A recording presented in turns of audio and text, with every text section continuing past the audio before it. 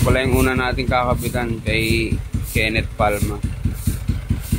Susukatin natin yung decibel. Kung ilang decibel, kung ilang decibel yung replica pro na silent 5.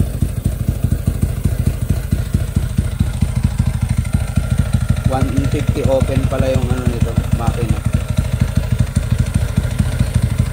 Loaded na 150cc.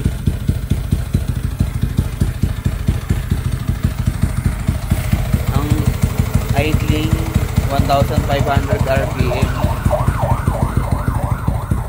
I- ang reading niya sa idling 78. Ang pinakamataas 79 decibel. Tignan natin sa ano, 4,500 RPM.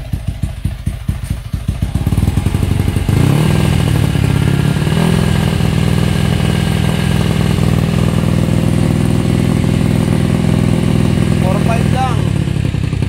Alam mo yung 4.5?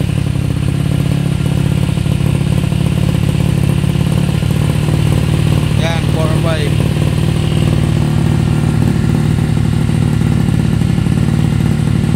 Ayan, wala pang 90. 88 yung pinakamataas. 88 decibel. Ang distance niya is 1 meter mula sa tip ng tambucho. 88. 89. Hindi pa umabot ng 90.